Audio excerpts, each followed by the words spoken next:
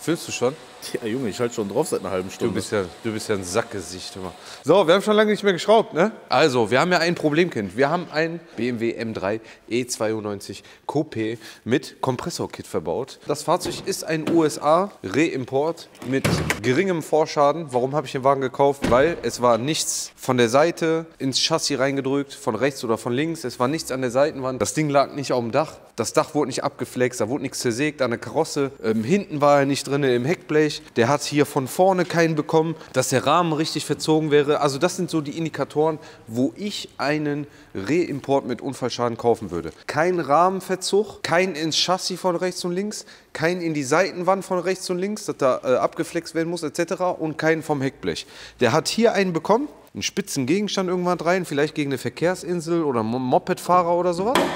Und dann ist natürlich klar, dann ist die Haube kaputt, dann ist hier der Schlossträger kaputt, dann ist das Kühlerpaket kaputt, dann ist die Stoßstange kaputt. Und das sind alles Teile, guck mal, die schraubst du hier ab. Hier tauschst du einfach nur die Teile, das ist rechts dran geschraubt, das ist links dran geschraubt. Und dann baust du hier den Schlossträger aus, Kühlerpaket, Stoßstange, das sind alles eins zu eins Teile, die du einfach tauscht. Dann hast du die Teile getauscht und dann hast du wieder ein intaktes Auto. Dann brauchst du keine Sorgen machen, ob Nachschäden etc., irgendwas, Elektronik oder sonst irgendwas. Das ist mein Gefühl, wie ich diese Importe kaufen würde, ja oder nein. Ich bin mir noch nicht ganz schlüssig bei Wasserschäden. Bei, da gibt es auch wieder, da differenzieren welche mit Süßwasserschäden und Salzwasserschäden. Krass, wahrscheinlich Salzwasser dann natürlich ein bisschen aggressiver, ne? Ja, denke ich mir jetzt erstmal logischerweise so auch. Aber da habe ich immer noch die Angst, dass irgendwo in der letzten Rille noch Wasser drin ist, im Steuergerät oder sonst was. Mhm. Normalerweise tauschen die natürlich dann auch die Geräte. Wasserschäden sind eigentlich in dem Sinne auch dankbar, weil du tauschst einfach die Steuergeräte, die abgesoffen sind. Guckst vielleicht noch die Verkabelung. Wenn du richtig professionell machst, tauschst du dann die ganze Verkabelung, wo die in dem Wasser dann lagen. Und dann war es das eigentlich im Prinzip auch schon. Aber da bin ich mir nicht so sicher, wie das, was ich jetzt gerade erklärt habe. Hier mit schönen Frontschaden, Teile tauschen,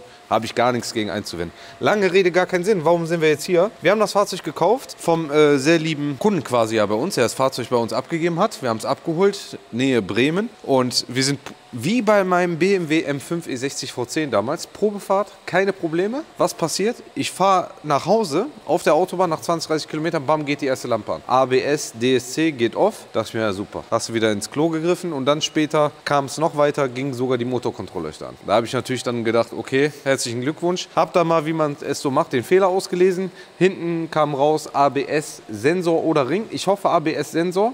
Soll wohl auch eine Krankheit sein bei der Baureihe. Warum hoffe ich das? Das Bauteil kostet 50 Euro, ist ein Sensor mit einem Kabel, Rad ab, tauschen, Rad drauf, Fehler löschen, hoffentlich Ruhe. 50 Euro der Fehler, ne? Das sind ja so Autos, kannst du ja nicht so verkaufen, überleg halt mal. Kaufst du bei mir einen M3 für äh, über 40 Mille mit Lampe an und sowas?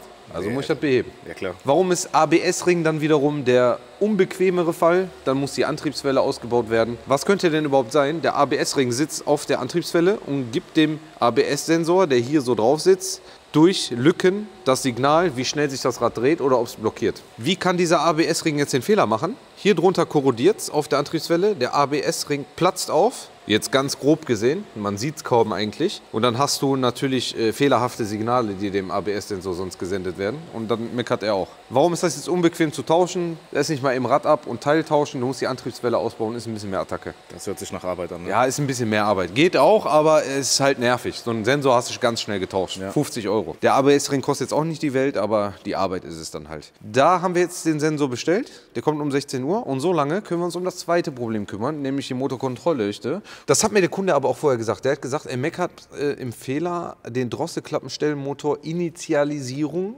auf Bank 1 an. Da müssen wir jetzt natürlich auch noch mal gucken, welcher das ist genau. Ich würde sagen, wir lesen jetzt gleich noch mal den Fehler aus. Auf jeden Fall sitzt der Drosselklappenstellmotor hier drunter. Und BMW will für diese Reparatur, ein Drosselklappenstellmotor kostet 1000 Euro. Das heißt zwei, 2000 Euro plus Arbeit würde ich sagen knapp 3000 Euro. Ach du Scheiße. Würden die für diese Arbeit nehmen. Und wir probieren das heute, mein aller, aller, aller Jutster, für 30 Euro. Ja gut, Junge, da bleibt ja richtig was übrig für mich. Aber. Ich habe nämlich äh, so Ritzel gekauft, die werde ich euch gleich mal zeigen. Das ist quasi, du machst dann den Drosselklappensteller auf und da drinnen verschleißen die Ritzel. Und die haben wir jetzt neu bestellt. Das wird natürlich sehr, sehr spannend. Ich bin natürlich auch sehr, sehr lange raus äh, von der Schrauberroutine. Und ich würde sagen, wie gesagt, Wir lesen jetzt nochmal den Fehler aus, um uns zu vergewissern, auf welcher Bank, damit wir den richtigen Drosselklappensteller ausbauen. Ja, und dann dürft ihr euch in diesem Video darauf freuen, ob das jetzt hier äh, ein fehlerfreier M3 wird. Ich äh, lese jetzt einmal den Fehler aus und ich werde jetzt auch einmal den Motor starten. Und wenn du dich nach vorne hinstellst am Motorraum, dann haben, äh, haben die Leute auch deine Tonspur und dann äh, wirst du hören, dass er ein bisschen länger braucht, bis er anspringt. Das ist nicht, weil der lange stand durch die Batterie, sondern durch den Drosselklappenstellmotor. Gehen wir nach vorne hin gucken.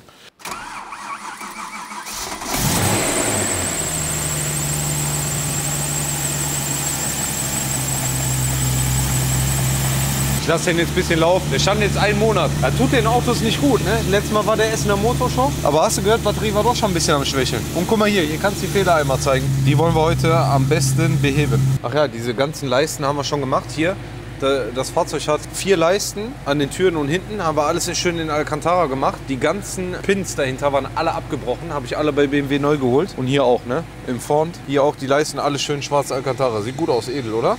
Das sieht echt gut aus. Passt zum Lenkrad hier. Ja. Finde ich, ist ein gutes, äh, stimmiges Ergebnis geworden.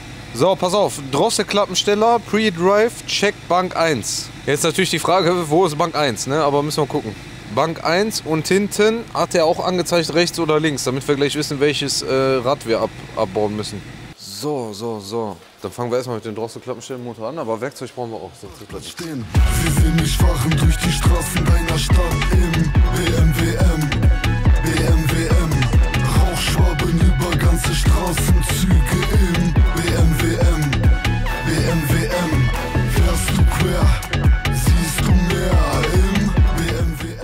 Ist schon wieder hier ein bisschen mehr als gedacht, hör mal, ne? Fünf Schrauben lösen und so. Das Schlimme ist halt, dass die Airbox, die hat da drunter hat die vier Anschlüsse auf jeder Seite für jeden Zylinder, ne? Und da muss halt erstmal drankommen, die ganzen Schlauchstellen zu lösen. Aber zeige ich gleich, wenn ich drankomme. Und ich mache jetzt hier die Streben ab, damit man besser die Airbox am besten da rausholen kann.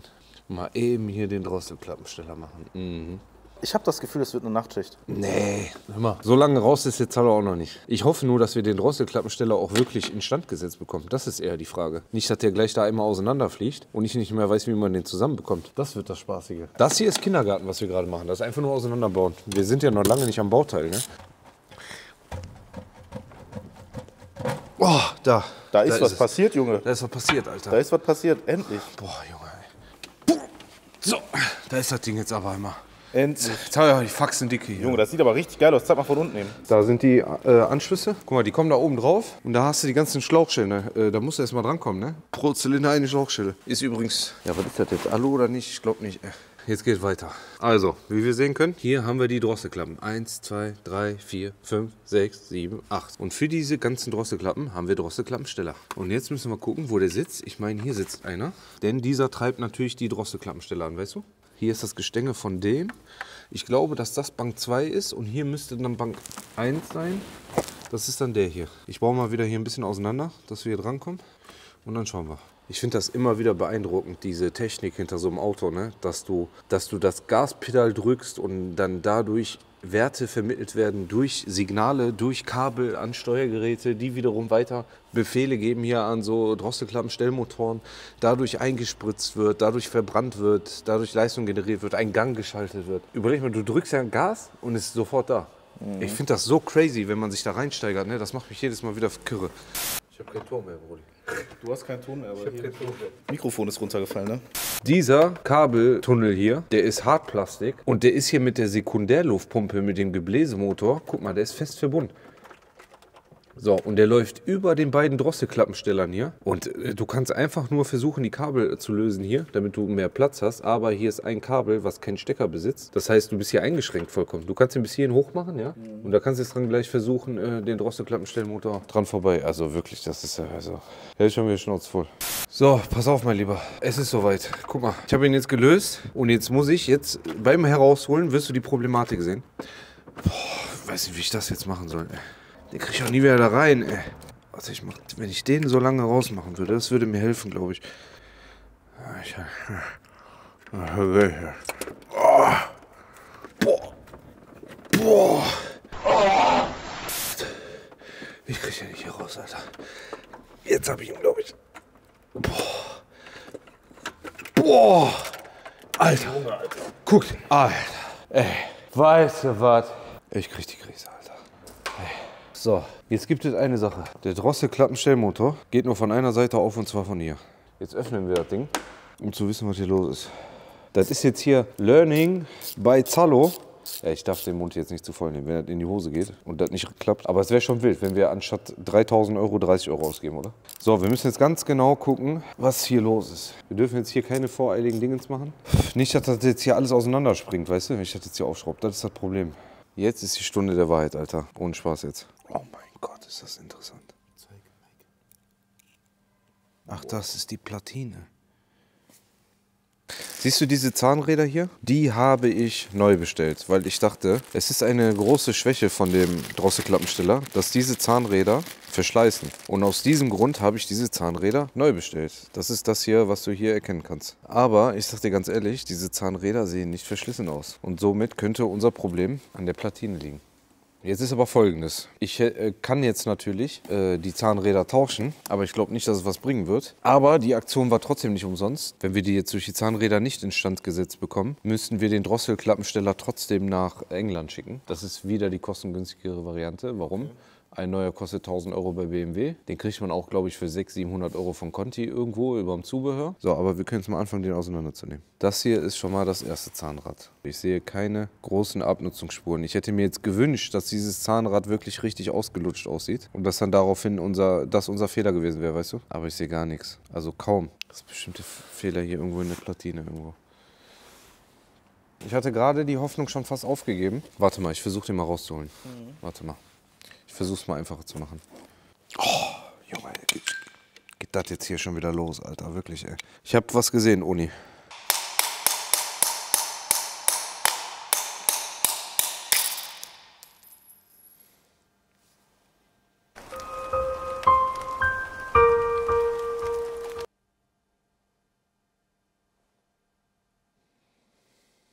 Ich glaube, alles gut. So, ich habe den jetzt hier rausgetrieben. Ich habe nämlich hier was erkannt. Fällt dir hier was auf? Die Zähne sind dicker auf jeden Fall. Bei wem? Bei dem neuen. Und das könnte es sein. Der greift hier rein und treibt den dann an. Ja, die sind auf jeden Fall. Also da sind welche so dünn, dass sie kurz vorm Abbrechen sind. Wenn ich jetzt hier den neuen nehme, das ist der alte. Bitte guck dir an, wie die greifen. Und wenn ich das jetzt hiermit vergleiche, bei dem anderen sind beide Zähne richtig drin und bündig. Und hier, das wackelt ja hier schon drin. Da sind die Zähne schon richtig verschlissen. Also bei einem richtig schlimm hier, an der Position. Guck mal bitte. Da siehst du, der, der hat gar keinen Halt hier drin. Jetzt nochmal andersrum, hier. Also der rollt hier schon von alleine und ohne Spiel, ohne nix, ne? Hier. Den bauen wir jetzt zusammen. Viel Spaß beim Zusammenbauen. Vielen Dank. Jetzt müssen wir uns nur irgendwie darauf konzentrieren, dass wir das hier auch wieder zusammenbekommen. Ich sag ja immer, Learning by Doing, mal. Ich sag dir das die ganze Zeit schon, ne? Auch, also wenn die Kamera aus ist, du brauchst eine Werkbank, Alter. Hast du recht, ja. Ich, ja, ich muss mal langsam hier ein bisschen aufrüsten. Das könnte echt sein. Ich vergleiche jetzt einmal den anderen, wie der sich abrollt, weißt du? Und ich würde jetzt auch den anderen nochmal. Ich habe nämlich logischerweise direkt zwei Sets bestellt. Auch für den anderen noch. Wenn ich einmal dran bin, dachte ich mir, wenn ich in einen leicht getauscht bekomme und da Verschleiß sehe, warum soll ich dann jetzt nicht den äh, zweiten auch machen? Jetzt ist man einmal dran. Äh, schau, wie der sich dreht. Und meiner bleibt stehen. Das heißt, ich habe die Feder nicht richtig vorgespannt. Das ist halt, wenn man das jetzt nicht so oft gemacht hat, ne? Aber dann bef besser, bevor man das einbaut, einmal dann gegenkontrollieren. Gucken wir uns an, warum der anders federt hier. Boah, das ging auch schnell, ey. Ihr habt ja gesehen, als das auseinandergeflogen ist, als ich gehämmert hatte, habe ich so geguckt. Warum? Weil die Feder da auseinandergeflogen ist und man da nicht mehr sieht, wie die Feder vorher verbaut war. Und jetzt gerade beim ersten Zusammenbau hatten wir eine falsche Vorspannung in der Feder. Das heißt, die Feder war nicht genug gespannt. Und das ist jetzt der Dro- Drosselklappensteller, wo es gerade nicht richtig gut funktioniert hat. Ich will jetzt aber nochmal eben die Schraubenfeste ziehen. Denn das zweite Problem ist, bei den Polenritzeln, die kommen, das ist natürlich nicht wie Serie. Die ganzen Adapterstücke hier, die passen alle nicht richtig drauf. Ich musste ein bisschen anschleifen. Und du hast jetzt hier dann minimal mehr Spiel als äh, vorher. Aber es ging jetzt nicht besser. Das war wirklich das Maximum, was ich rausholen konnte. Ich werde das Ganze jetzt mal dann zusammenschrauben, in der Hoffnung. Aber ihr seht, jetzt ist die Vorspannung hier. Jetzt ist sie gegeben. Zweiter Tag. Es geht weiter, Freunde. Neuer Tag, neues Glück. Mir geht's zwar richtig beschissen, beschissener als gestern. Ich habe eigentlich gedacht, ich bin wieder gesund, aber es bringt ja nichts. Der einzige Vorteil ist, wenn man das jetzt einmal gemacht hat, ne, dann geht das zweite Mal immer gefühlt doppelt so schnell. Ah, ich will nicht den Pinöppel kaputt. Ich muss aufpassen jetzt hier, warte. Der wollte sich mit mir anlegen, weißt du? Der wollte sich echt mit mir anlegen. Sie sehen mich fahren durch die Straßen deiner Stadt Ich werde jetzt einfach mal starten. Ich habe die ganze Kabellage hier alles zugemacht. Alles wieder fachmännisch hier, die ganzen Stecker drauf etc. Dass das auch alles schön hier liegt und nichts irgendwie sich auch im Betrieb. Ne? Wir sehen können hier, der Test hier funktioniert schon mal. Und normalerweise müsste der sich, wenn ich gleich Zündung anmache oder den Motor anmache, dann müsste der sich einmal initialisieren. Das war ja da, wo wir den Fehler hatten.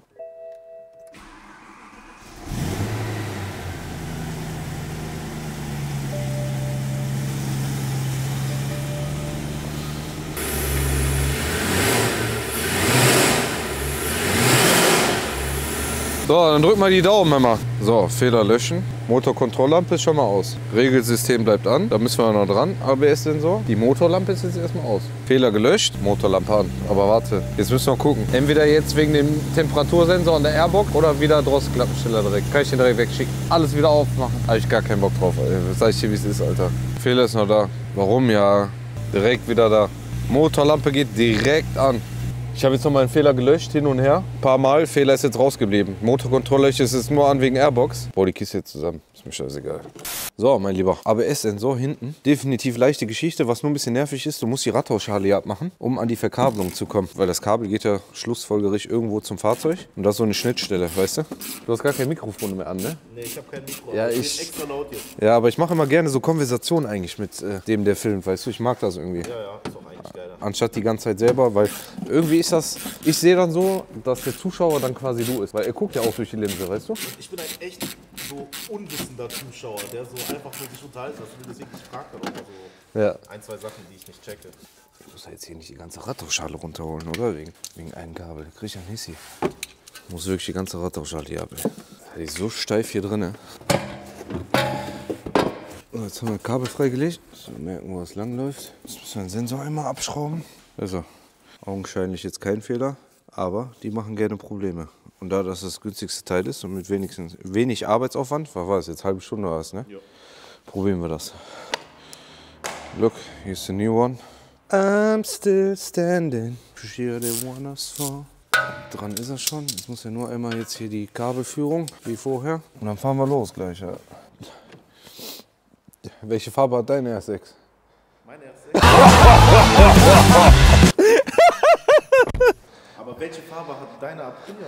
Nein, das ist eine sehr berechtigte Frage. Und äh, das kommt bestimmt wieder falsch rüber. Jetzt immer, wenn, das ist aber mein Humor, kennst du das? Die Situation zum Beispiel so gerade out of nowhere, so völlig aus dem Kontext gerissen. Einfach so, so ein bisschen so nach dem Motto Front, aber mache ich ja eigentlich gar nicht. Aber so diese Situation einfach. Hast du gesehen, wie ich totgelacht habe?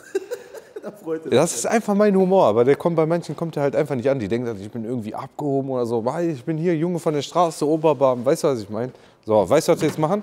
Jetzt machen wir wirklich die, äh, die, die alles entscheidende Probefahrt. Ey, wenn das Ding jetzt funktioniert, ne? Und keine Fehlermeldung, ne? Ich ziehe auf jeden Fall die Jacke aus, weil mit der darf ich mich nicht da reinsetzen. Das sag ich dir, wie es ist. Lackschuh.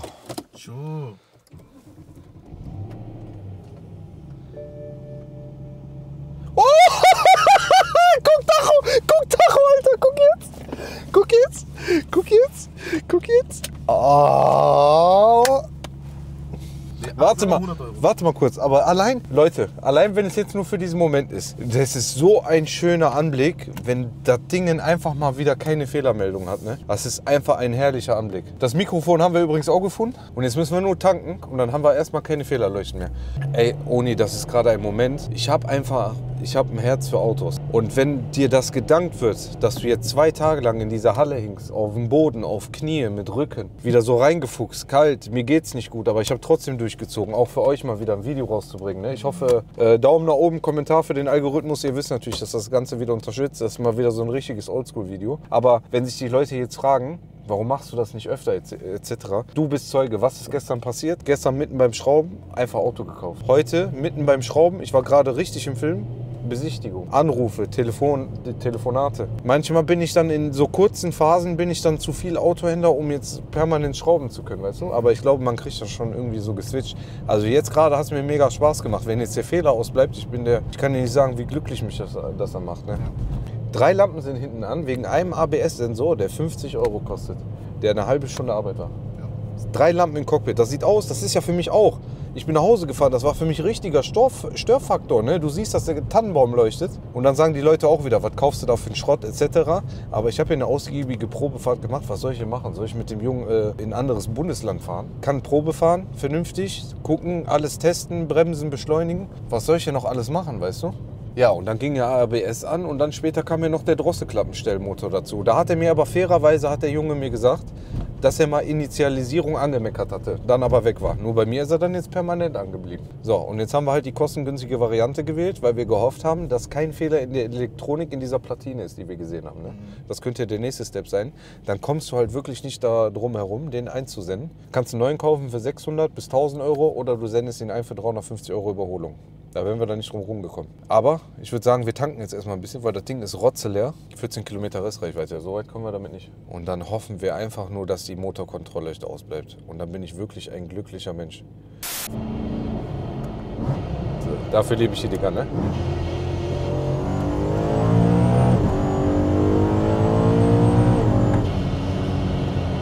Ja, es ist einfach Liebe. Und ich sag dir eine Sache, Fehler ist aus, wirklich. Da, guck Tacho. Da, bevor die Leute jetzt nicht glauben. Warte, ich mache Lichtlampe auch noch. Da. Geil oder geil. Also ich will nicht zu froh sein, aber ich glaube, der Fehler wäre sonst schon wieder da gewesen, weil die MKL ging zuletzt gar nicht mehr weg aus, auch nicht mit Motor an aus, weißt du? Und wir haben jetzt alle Gänge durchgeschaltet. Drehzahl haben wir auch einmal voll ausgefahren, ne? Klar, ich, was soll ich jetzt 100 Kilometer äh, Probe fahren, ne? Aber so, Freunde, wir fahren zurück in die Halle. Probefahrt. Ja, wir sind jetzt zwei, drei Autobahnausfahrten gefahren. Ich war tanken. Welche Szenarien will Stadt, Autobahn? Was, was sollen wir jetzt noch machen? Haben wir jetzt schon alles drin. Ja, die Kiste ist warm. Alles gut. Willst du Abschied hier machen oder willst du in Nee, Mann, in der Halle. Ja, mein Lieber, schau noch mal gerne in den Tacho. Ne? Handbremse, angeschnallt bin ich auch nicht. Mega erleichtert. Da läuft mir immer wieder so ein Schauer über dem Rücken. Auch wenn es kalt ist, aber da läuft mir so ein Schauer über dem Rücken, weil mich erleichtert sowas immer. Wenn die Arbeit, was du jetzt da reingesteckt hast, ne, die letzten zwei Tage, wenn sich das dann wieder auszahlt. Mega. Ich hoffe, das Video hat euch gefallen. War es lehrreich für euch? Wie gesagt, BMW wärst du so roundabout. Also wenn dein Auto abgibst, da hinstellst bei BMW und sagst, hier bitteschön den Schlüssel macht, wärst du ungefähr bei 3000 Euro gewesen, denke ich mal. Gerade mit dem Kompressor-Kit und so was alles. Ne? Auch wenn wir jetzt revidiert hätten, hätten wir, du bist einmal dabei, da machst du beide Drosselklappensteller, nur 700 Euro. Nur 700 Euro beide revidieren lassen, e- eigene Arbeitszeit. Und äh, ja, jetzt sind wir roundabout mit eigener Arbeitszeit. 100 Euros. Ist das gut oder ist das gut? Also ich bin mega froh und ich hoffe, das Video hat euch gefallen. Lasst gerne, wie gesagt, einen Daumen nach oben da oder einen Kommentar. Und dann dürft ihr euch freuen. Wir geben jetzt noch mal ein bisschen Gas und dann kommt die Tage noch mal ein bisschen Content. Ne? Bis dahin, Freunde. Ciao. Sonne lässt die Reifen drehen und gibt Kickdown im BMW. BMW M, BMW M.